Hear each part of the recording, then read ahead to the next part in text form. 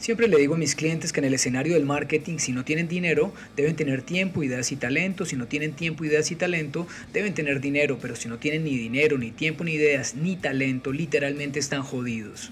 Internet está parado sobre contenidos y ese es un escenario en el que las marcas deberían entrar a competir con toda la artillería, el de la producción de contenidos y sin dudarlo debe existir una vocación genuina, le deben hacer en el corazón, no de forma exclusiva por cumplir o para posicionar, porque normalmente las audiencias lo entienden, lo sienten y lo terminan rechazando.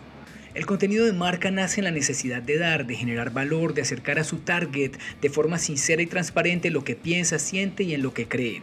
Ese contenido debe tener una capa de ADN que permita generar el link emocional con quien se para frente a su propuesta.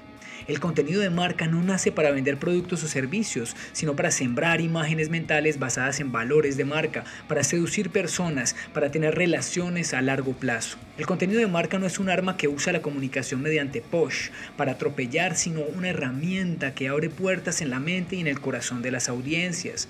El contenido de marca no es la obligación de un tercero, de una agencia o de un publicista de cabecera. Es la obligación de quien la crea, de quien la siente y la vive todos los días, porque es su criatura más preciada. Los contenidos de la marca son el argumento diario que estamos poniendo en las manos de aquella mujer que nos encanta para que evalúe si ella es para nosotros y si nosotros somos para ella.